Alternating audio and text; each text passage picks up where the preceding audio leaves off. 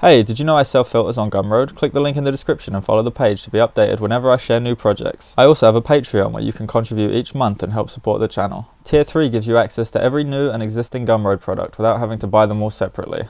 Welcome to another show, I'm Sid, and in today's video I'll be showing you how to create this radioactive glow effect using the opacity features I covered in the previous video and expanding on that concept slightly. If you haven't seen that already, there should be a link in the description or else an eye somewhere, maybe here, maybe on this side, I don't know. It's pretty cool effect, so let's just jump right into it. Okay, so we start off the same way we start off every video, switching to 2D view, opening the patch editor, and just reorganizing so things look nice and everybody can see everything that's going on. Next, we're gonna add an object. That object will be a rectangle today, which will appear nested inside of a canvas. You wanna fill the height and fill the width, and then you wanna add a material layer. We're gonna rename the material to rectangle so that you know what I'm doing. Change the shader type from standard to flat, and now we're gonna come up here to camera and add the person segmentation and the texture extraction for this camera texture. So they should appear down here as textures. Next, we're going to go to the library, patch assets, and I'm going to be using the duotone shader for this one. So type duotone into the search bar and then import the patch once it loads. Now that we've got that, we can get started. So the first thing I'm going to do is drag the camera texture in here. And if you saw my previous video, we did the exact same technique, but we used an image texture, which I'd imported as a PNG file. This time we're going to be doing the same thing, but with a camera texture. So from here, I'm going to drag the duotone shader in and connect this RGBA output to the texture input of my duotone shader. Now I'm going to drag out from here and I'm going to create a swizzle. I'm going to control C and control V to duplicate that. And I'm going to connect this one up as well, both to the value inputs. I'm going to change the value of this swizzle from an X to an RGB. And I'm going to change the one down here to an A to represent the alpha channel. Now from our alpha swizzle, we're going to drag out here and add a multiply patch. Now from the output of our multiply patch, we're going to connect a pack and we're going to change that from a vector 3 to a vector 2. Now I'm going to take the output that's connected up to the first input here and I'll move it down to the second one. And I'm going to take the swizzle output for our RGB and connect that to the first input on our pack patch. Now we need a texture, so we're going to select our rectangle here and create a patch for the diffuse texture. Connect that up at the end and you'll be able to see yourself with the duotone shader patch already set up. You also at this point want to check the alpha box here and add your person segmentation mask, which will separate you out out from the background and create the beginnings of the glow effect that we're after. Now we're going to add a loop animation and we're going to connect from this progress output to a transition. That transition starts as vector 3 but we're going to change it to a number and now we're going to connect from the value output here to the second value input on our multiply patch. You can already see the effect taking place now but I'm going to change the duration from 1 second to 2.5 so it takes a little bit longer to progress from 0 to 1 and I'm also going to check this box here for mirrored which means that instead of going from 0 to 1 and then looping back around to 0 again it goes from 0 to 1 and then goes back down to zero. So we have a nice little looping animation going on now. And what I'm going to do next is change the colors because you can leave it the way it is, but it doesn't really have the radioactive glow that we're after right now. So what I'm going to do is change color A to a nice bright green and I'm going to change color B to this yellow here. And now as you can see, we have a little bit of a radioactive glow going on. It's kind of bright though. So what I'm going to do is change the end value here in our transition from 1 to 0.8 and I'm going to change the start value from 0 to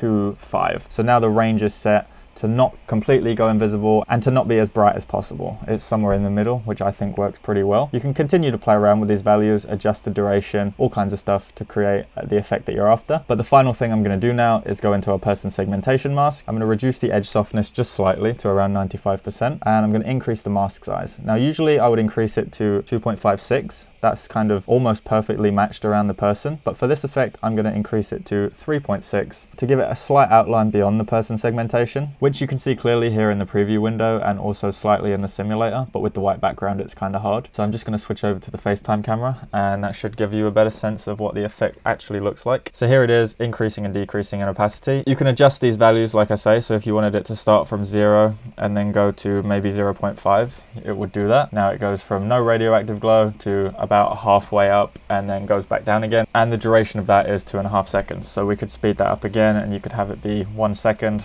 and it's kind of giving you this neon effect. You can apply this to anything, a 3D shape, a rectangle, a plane, just about any object that can have a texture applied to it. It's pretty cool actually. Once you learn the basics of this patch setup for opacity, then you can combine any shaders you like to create cool effects like this. And of course you can switch the colors out if you want. So it doesn't have to necessarily be a radioactive glow. It could be something a little bit different, but it has the same overall effect. We'll go back to radioactive. It's also worth mentioning that you can add a screen tap to pause this animation. So if we double tap here, add a screen tap, connect that up to a switch from the gesture state output, and then connect the on off output here to the loop animations enable input. And now when we tap on the screen after simulating touch, we can activate it with the screen tap and then pause it at any point and it will just sit there at that value. You can watch it change values down here. When I unpause, and then when I repause. So that's pretty cool. But yeah, that's the entire video. I hope you enjoyed it. I hope you found something in here useful. If you did, don't forget to leave a like, share this video where you think people might find it useful. Subscribe if you want to see more content. I've been trying to post every day uh, and it's going well so far. And I'll catch you in the next one.